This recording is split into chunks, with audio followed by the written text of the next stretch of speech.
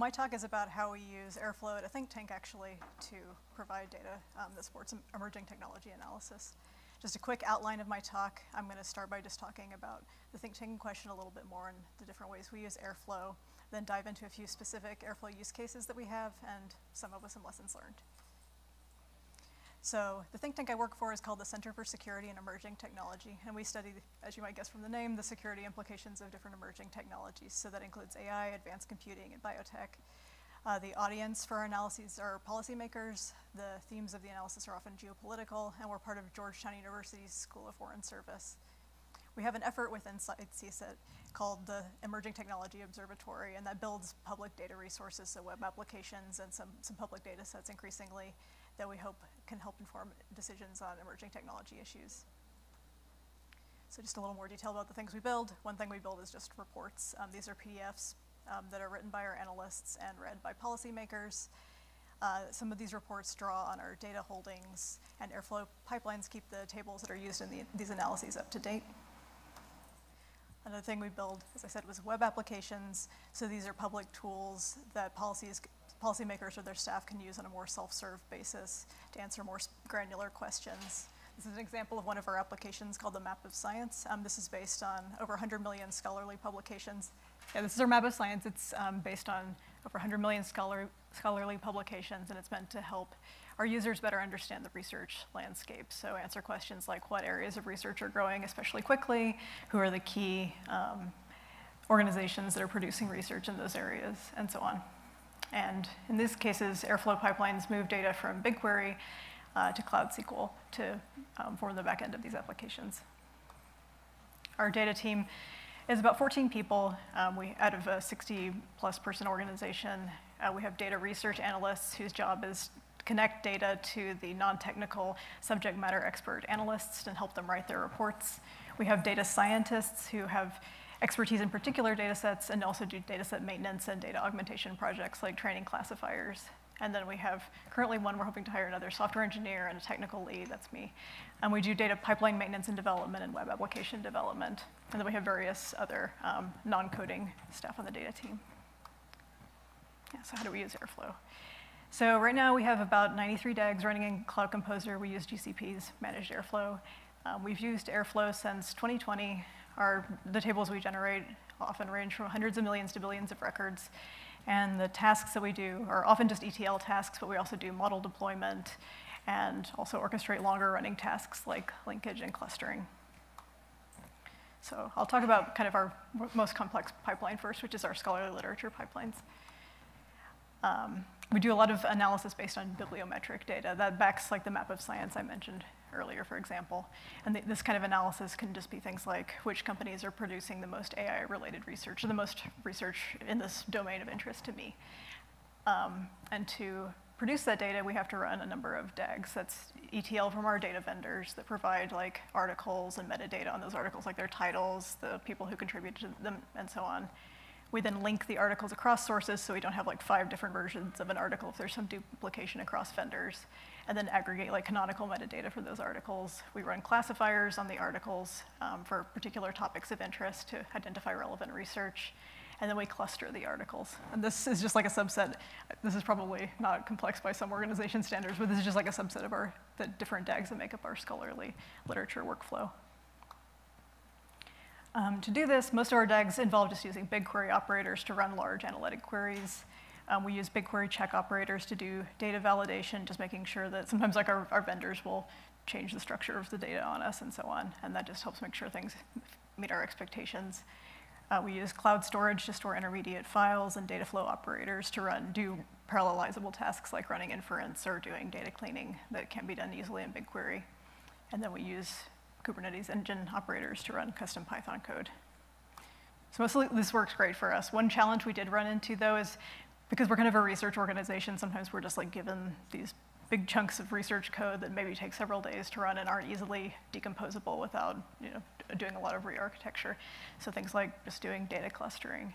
And we've tried various methods of running these with Airflow. We've tried Kubernetes engine operators and bash operators that just run commands over SSH. And sometimes this works great, um, but other times, if we have run a task for several days, we might see a stack trace like this, you know, job heartbeat got an exception, connection to server failed. As you might expect, this is kind of a edge case, I guess, for Airflow. Um, the way we've worked around this is just using sensors. This is a little hacky, but it's worked okay. So in these cases where we have like a really large task that needs to run for several days, we'll just run that task in the background on a remote VM. And then when it completes, it uploads an empty file to a location on cloud storage. Um, and then we use a GCS object existence sensor to, to wait for that file to appear and then allow the DAG to proceed once it's present.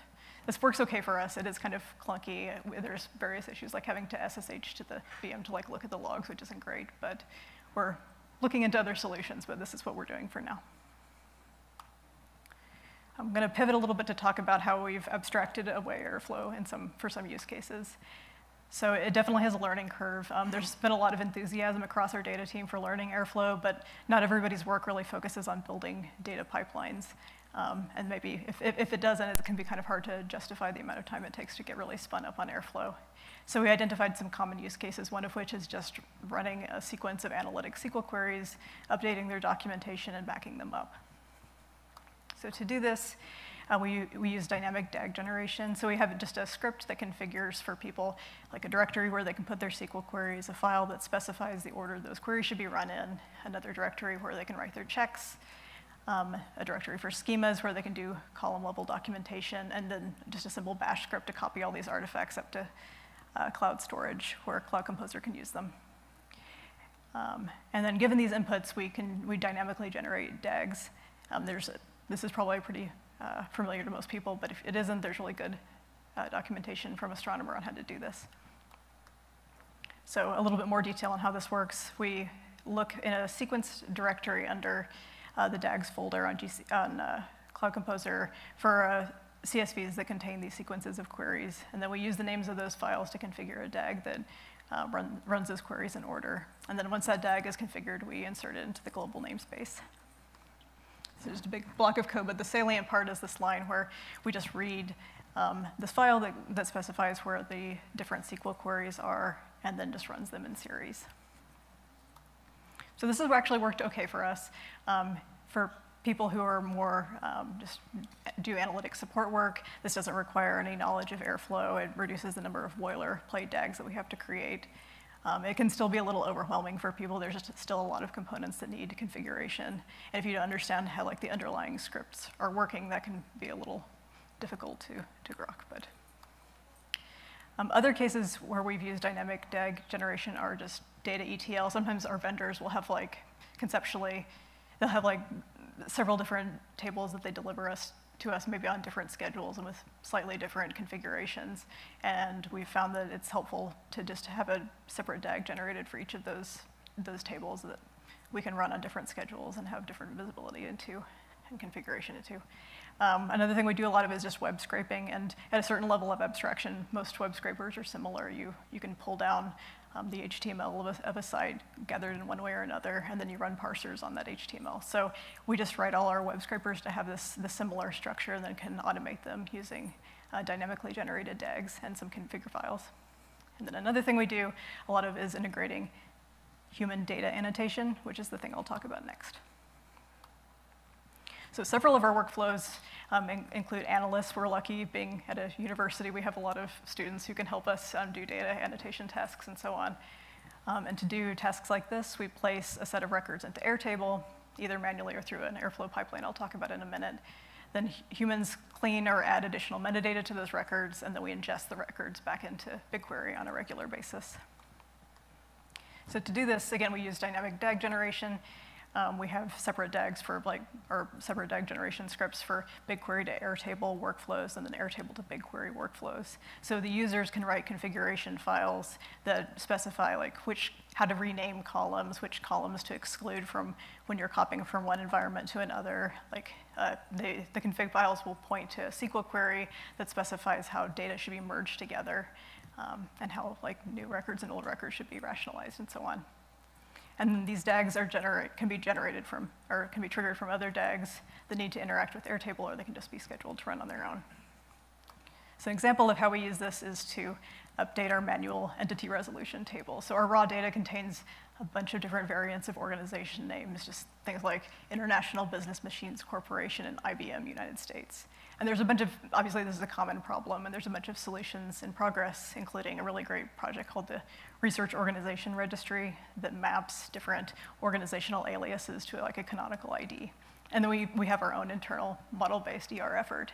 But in the meantime, we need to manually kind of clean up the worst offenders while we wait for these projects to, to deal with them. So to do this, on a regular basis, we just add worst offender organizations, this may be just by number of affiliated paper, papers or other metrics, to an Airtable base. And then those can be manually mapped to like the canonical name and canonical ROR ID if available. And then a reviewer will just check a reviewed column. And then an Airflow pipeline every, every week or so pulls organizations that have that column checked and uses them to update a BigQuery table. And then those cleaned organizations are available for other DAGs, like our metadata merging DAG. So just to sum up some lessons learned. We're a really small organization, obviously. We started as just a data engineering team of like me, and then we evolved from there. Now several people across our data team use Airflow. And so we had to deal with issues just like how to assign responsibility for addressing minor vendor schema updates and, and so on, and just giving everybody on the data team visibility into task failures and lineage and so on. And what's been really helpful for us is just a shared Slack channel that Airflow writes to that we can like write our own status messages in, um, and with like points of contact for each DAG uh, identified, and people get DM'd when their, their DAG fails and so on. Um, we've, as I said, we have to put some special consideration into running these long-running tasks. And dynamically generating DAGs have been a big help for us, keeping, just keeping our code dry and helping the team members generate DAGs without having to learn the details of Airflow.